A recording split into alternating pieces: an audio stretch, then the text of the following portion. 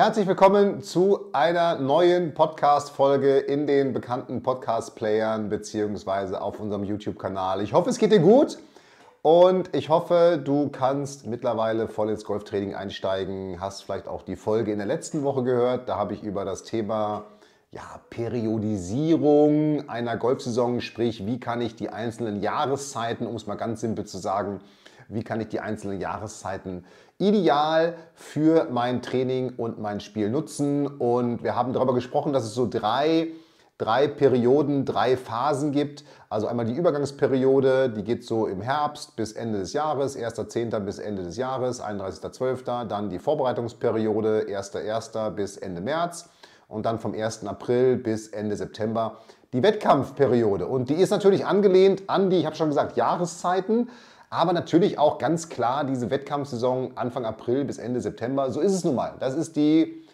ja, Wettkampfsaison ist vielleicht ein bisschen hochgestochen, ja, vielleicht profihaft gesagt, aber das ist die Turniersaison, das ist die Spielsaison, das ist doch unsere Golfsaison, wo wir Golf spielen gehen, wo wir die Turniere spielen, wo wir draußen sind, weil es hell ist, weil es toll ist, weil es Spaß macht und einfach Golf spielen auf dem Platz. Ich habe auch darüber gesprochen, darum, wenn du die Folge noch nicht gehört hast, hör sie nochmal an, wie man so inhaltlich das Training gestalten kann, was man inhaltlich machen sollte in den einzelnen Phasen wie auch das Verhältnis von Training auf der Driving Range zu Training auf dem Platz sich gestaltet, welche Inhalte man wie, wo machen sollte.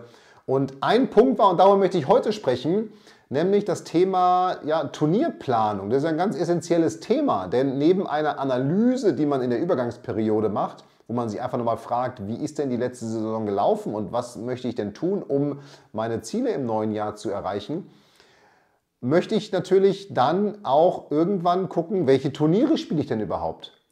Und das ist natürlich mittlerweile, wie ich finde, ein sehr komplexes Thema geworden durch immer mehr Mannschaftsturniere, die es gibt, die Deutsche Golfliga, die, die AK30, AK50, AK65. Entschuldigt, wenn ich jetzt irgendeine AK vergessen habe, die, die noch gespielt wird ich möchte niemanden diskriminieren. Es sind einfach wirklich, es gibt wahnsinnig viele ja Mannschaftsligen und Turniere mittlerweile, was ich total klasse finde, weil ich glaube, das macht ja mit am meisten Spaß. Aber es ist auch ein, ein hoher Druck, ne, den man mal so ein Mannschaftsturnier spürt, finde ich ja immer irgendwo, wenn man für seinen Club, für seine Mannschaft spielt. Und das macht natürlich eine Turnierplanung relativ komplex, denn am Ende des Tages muss man ja trotzdem sagen, ist Golf eine Individualsportart. Nicht umsonst wird in den höchsten Ligen der Welt auf den Touren individuell gespielt. Natürlich gibt es dort auch Team-Events, den Ryder Cup, den, den Solheim Cup, den Walker Cup, den President's Cup und so weiter und so weiter. Also eine Menge an Teamturnieren. Aber am Ende spielt ja jeder Golfer für sich selber. Und was kannst du jetzt tun, wenn du, und darüber möchte ich jetzt mal ein bisschen reden, nicht nur ein bisschen, sondern ganz intensiv reden und, und dir zeigen, was du tun kannst. Was kannst du denn jetzt tun, wenn du in einer Mannschaft spielst und wenn du vielleicht nur für dich spielst? Und ich empfehle immer eine Turnierplanung nach der ABC-Methode. Das ist ganz simpel. Also A, das sind deine Highlights, die du spielst. Denn es gibt ja Highlights, Clubmeisterschaften, vielleicht ein tolles Sponsorenturnier oder eine offene Golfwoche. Vielleicht ist es auch ein Mannschaftsturnier, was dein Highlight ist. Oder irgendein anderes Turnier. Kann ja sein, ganz individuell. Das muss man jetzt gar nicht von außen sich vorgeben lassen. Das entscheidest du. Was sind meine absoluten Highlights? So, und dafür nimmst du dir am besten für diese ABC-Analyse mal, nimmst du einfach wirklich so ein Blatt Papier ja, und schreibst dir einfach mal auf, guckst erstmal in die Turnierkalender, die sammelst du erstmal alle für dich, also den Club-Turnierkalender, den Verbandswettspielkalender, den DGV, äh, DGL, vielleicht international, wenn du spielst, bei der EGA, also wo auch immer du Turniere spielen willst. Und jetzt schreibst du einfach mal auf, was sind denn so meine, und das sollte man mal machen, top-down, was sind denn so meine absoluten Highlights? Was sind meine A-Turniere? Die schreibst du einfach mal auf. Nimmst dir am besten sogar so einen, so einen, kleinen Kalender, so einen Jahreskalender, den kriegt man auf Kalenderpedia, glaube ich, heißt das. Kann man sich so schön so einen Jahreskalender ausdrucken.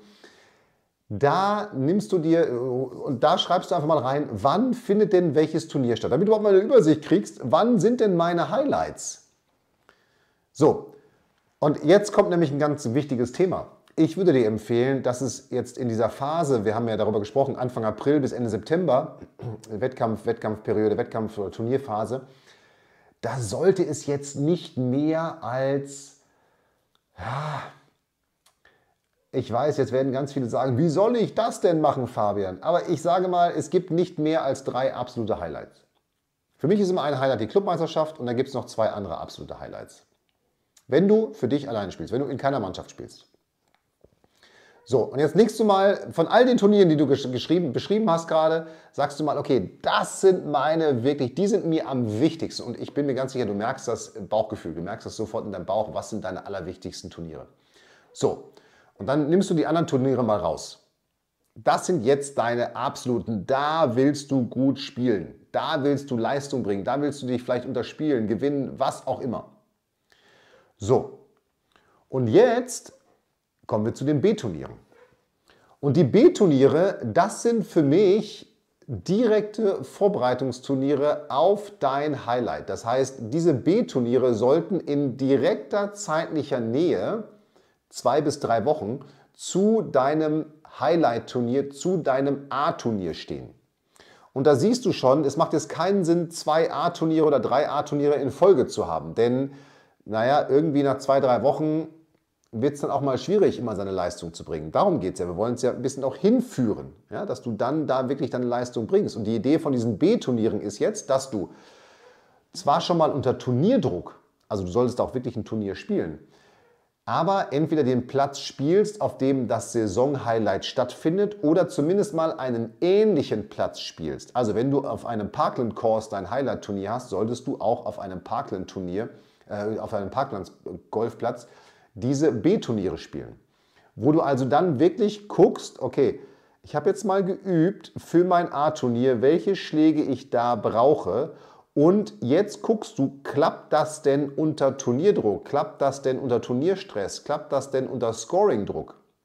Also kannst du diese Turniere, diese Schläge schon so spielen? Wenn nicht, okay, dann musst du sicherlich nochmal trainieren bis zum bis zum Turnier, aber dann weißt du zumindest, wo stehst du und was kannst du jetzt noch kurzfristig ändern. Ja, einfach jetzt in dieses Turnier reinzulaufen, ohne zu wissen, was ich tun muss, ist ja Quatsch. Und natürlich, es kann sein, dass du den Platz kennst. Trotzdem empfehle ich dir, analysiere mal, welche Schläge, welche Schlagarten benötigst du bei diesen Turnieren auf dem Platz, auf dem dein Saisonhighlight stattfindet. Und die musst du natürlich vorher auf ähnlichen Plätzen testen. Genauso solltest du C-Turniere in deinem Turnierkalender vor B-Turnieren haben. Und diese C-Turniere, die haben jetzt den Grund oder den Hintergrund, dass du guckst, okay, aus der Analyse heraus, ich habe geguckt, was ich, was ich auf dem Platz, auf diesem A-Turnierplatz brauche. Und jetzt spielst du mal ohne Turnierdruck. Das sollten nicht vorgabewirksame Turniere sein oder vielleicht auch nur auf Clubebene, vielleicht ein Herrennachmittag, ein Damennachmittag oder vielleicht auch eine, eine, eine, private, eine privat organisierte handicap-wirksame Runde, wo du also mit wenig Turnierdruck guckst, dass du das, was du trainiert hast, erstmal umgesetzt bekommst. Und jetzt siehst du schon, das ist so ein Dreierschritt. Ne? Also du analysierst erstmal, was brauche ich bei diesen A-Turnieren. Die hast du zeitlich festgesetzt. So, das trainierst du jetzt. Und dann bei einem C-Turnier, da guckst du, klappt das denn ohne großen Turnierdruck? Klappt das denn, was ich da, was ich da brauche? Also ich sage jetzt mal zum Beispiel, du brauchst 100 Meter Schläge ins Grün bei dem A-Turnier. Viele. Einfach nur ein Beispiel. Jetzt übst du bei dem C-Turnier, dass du permanent aus 100 Metern ins Grün schlägst, weil du vorher 100 Meter Schläge mit deinem Trainer auf deiner Driving Range geübt hast in deinen Privatrunden. So, danach weißt du erstmal ohne Turnierdruck, wo stehst du. Jetzt kannst du nochmal trainieren. So, dann kommen die B-Turniere, wo du mehr Druck natürlich schon hast, weil da jetzt geht es Handicap-relevant, jetzt ist es vielleicht ein bisschen wichtiger, ein bisschen größeres Turnier. So, und jetzt guckst du wieder, okay, klappen diese 100 Meter Schläge? Das heißt, du bringst dich permanent in die Situation, 100 Meter Schläge zu spielen. So, und jetzt kriegst du auf höherem Druck wieder ein Feedback, klappt das gut, klappt das nicht gut. Und es sollte natürlich idealerweise besser klappen als bei den C-Turnieren, weil du es danach nochmal trainiert hast und nochmal gefestigt hast. So, und dann weißt du, okay, ich kann diese Schläge oder ich muss vielleicht nochmal nur ganz kurz ein bisschen üben und dann setzt du sie beim A-Turnier um. Und so hast du so eine, eine, einen Dreierschritt, den du dann gehst, also Training, Testen, Training, dieses Training zählt dann sozusagen zum Testen dazu und dann wieder umsetzen und du hast den Druck, den du hast, erhöhst du immer mehr. Und so baust du es dann sukzessive zu deinem Turnier-Highlight auf. Das Entscheidende ist eben, dass du von deiner Turnierplanung aus rückwärts denkst, also wo ist mein A-Turnier und dass du dann die entsprechenden B- und C-Turniere davor setzt. und dass du dann in deiner Trainingsplanung so denkst, okay, jetzt brauche ich, was brauche ich und das musst du jetzt quasi dann zum A-Turnier hin denken, dass du das erstmal trainierst, umsetzt, nochmal trainierst, wieder umsetzt und dann merkst, okay, dadurch Selbstvertrauen aufbaust durch diese Reihenfolge und dann eben merkst, okay, jetzt kann ich es umsetzen, jetzt geht es bei dem Turnier, da geht es um alles. Und so kannst du deine Saison planen. Und wie gesagt, ich würde nicht mehr als drei Turnier, große Turnier-Highlights reinbringen, wenn du in keiner Mannschaft spielst. Zu Mannschaften kommen wir gleich. Und dann genauso vorgehen. Ja, also Turnierplanung A, B, C, was sind meine Highlights, was sind meine direkten Vorbereitungsturniere, B-Turniere mit Druck und was sind meine Umsetzungsturniere, das sind die C-Turniere, wo ich wenig Turnierdruck, wenig Handicap-wirksamen Druck habe. Vielleicht sind es auch irgendwelche Vierer-Turniere, die ich spiele, nicht Handicap-wirksame Turniere. Einfach gucken, was kann ich tun, um diesen Druck sukzessive, den Turnierdruck sukzessive zu erhöhen und immer mehr zu gucken, klappt denn das, was ich entsprechend trainiert habe. Und das gilt übrigens für alle Handicap-Klassen. Ja? Sie heißt, muss jetzt gar nicht heißen, das gilt jetzt nur für die Guten oder für, für Handicap-Null-Spieler. Ganz im Gegenteil, nein, es gilt für jeden. Es gilt wirklich für jede Handicap-Klasse gilt dieses System. So, und jetzt haben wir natürlich trotzdem noch eine Besonderheit, denn DGL, AK 30, 50, 65, 70, was es alles gibt an, an Ligaspielen, bedingen, dass diese Turniere möglichst ja immer außerhalb von Ferienzeiten gespielt werden. Und darum knubbeln sich diese Turniere natürlich zwischen den Osterferien und den Sommerferien und dann irgendwie wieder so ganz kurz nach den Sommerferien oder vielleicht noch ein paar in diesen Sommerferienzeiten. Aber der Großteil findet ja im also mal April, Ende April, im Mai und im Juni statt. So, und wie kannst du das jetzt in eine ABC-Turnierplanung einfließen lassen? Das ist ja schwierig, weil jedes Mannschaftsturnier ist ja wichtig. Und ja, absolut. In dem Fall hast du dann sicherlich mehr A-Turniere, also mehr Turniere, wo du deine absolute beste Leistung bringen willst. Nichtsdestotrotz kannst du diese A-B-C-Periodisierung trotzdem durchführen, denn DGL findet alle zwei bis sechs Wochen statt. Zwischen Juni, zwischen, zwischen äh, Anfang Mai und, und Juni. So, das heißt, du kannst da ja genauso vorgehen. Selbst wenn du einen zwei Wochen Abstand bei diesen Turnieren nur hast, spielst du eben zwischendurch ein B-Turnier und eine C-Runde, um zu gucken, das, was du für diesen Turnierplatz geübt hast, ob das in derselben Reihenfolge klappt aufzubauen. Du hast eben einfach nur einen kürzeren Zeitraum. Ich sag mal, wenn du das für dich individuell machst, ohne, ein, äh, ohne, ohne eine Mannschaft im Hintergrund, dann kann dieser Zeitraum ja ruhig auch mal acht Wochen sein, weil du willst ja auch ein paar Turniere spielen, du willst dich auf, auf dieses absolute Highlight vorbereiten. Ja, oder sechs Wochen. In dem Fall sind es dann vielleicht nur zwei Wochen. Trotzdem kannst du in derselben Reihenfolge vorgehen, denn die Idee ist ja immer dieselbe, nämlich ich habe ein Highlight, ich muss gucken, was muss ich dafür trainieren, was muss ich denn bei diesem Highlight können, um da meine Leistung abzurufen. So, und das muss ich jetzt abgestuft, um mein Selbstvertrauen aufzubauen, trainieren. Und Darum kannst du es auch in einem Zwei-Wochen-Rhythmus genauso machen, dass du eben guckst, was brauche ich auf dem Platz, welche Schläge brauche ich, die habe ich eventuell vorher schon angefangen zu trainieren, trainiere sie jetzt, dann gucke ich in einer C-Runde, vielleicht in einem Viererturnier, in einer privaten Runde, klappt das denn, ja, was ich da machen will, okay, das klappt gut, dann gehe ich direkt über in ein B-Turnier, klappt es noch nicht, trainiere ich eventuell nochmal ein, zwei Einheiten und gehe dann in so ein B-Turnier über, um zu gucken, klappt das jetzt unter Turnierdruck und dann gehst du in das, in das Highlight-Turnier und guckst, dass es da klappt. Was mir natürlich wichtig ist, auch das ist jetzt keine Garantie dafür, dass das super klappt, alles immer. Ja? Aber die Idee dahinter sorgt dafür, dass du dich stringent auf ein Turnier vorbereitest. Nichts anderes machen Profisportler auch. Und warum sollten wir Amateure es nicht auch machen? Wenn ich mir Fußball-Bundesligisten angucke, die machen es doch genauso die wissen, irgendwann startet unsere Liga oder unsere Saison mit dem ersten Ligaspiel oder der ersten Pokalrunde im Fußball, im, im, im Profibereich. Und wenn du dir das mal anguckst, wenn dein Lieblingsverein seine Gegner aussucht, die machen das genauso. Die fangen nämlich dann an, kurz bevor es in diese Hauptwettkampfphase, nämlich Bundesliga geht, an gegen entweder schon Bundesliga mit Konkurrenten oder sogar deutlich stärkere Vereine zu spielen, um zu gucken, wo stehen wir denn wirklich? Klappen unsere Abläufe unter höchstem Präzisionsdruck?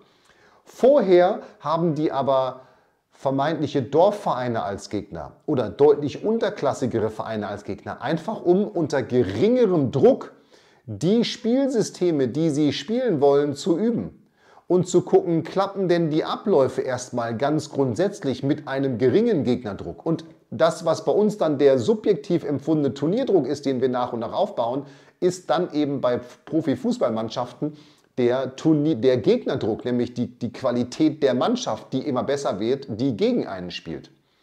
Und genau darum gibt es diese Vorbereitungsturniere mittlerweile der FC Bayern, der spielt dann den Audi Cup gegen Barcelona, Real und Inter Mailand. Die messen sich auf dem Champions League Niveau. Mein Lieblingsverein, äh, die, die Super Grün-Weißen, die spielen dann eben gegen Paderborn 09, äh, Fortuna Düsseldorf und Eintracht Braunschweig. Und äh, mein zweiter Lieblingsverein, der SC Preußen Münster, der spielt dann vielleicht gegen Ferl und ich weiß gar nicht, wer da noch in der Liga mit denen zusammenspielt. Ja, so viel ist zu meinem Lieblingsverein. Auf jeden Fall weiß ich mal, wie sie gespielt haben. Aber das sind dann die unmittelbaren Wettkampfvorbereitungen. Und genauso musst du es auch machen.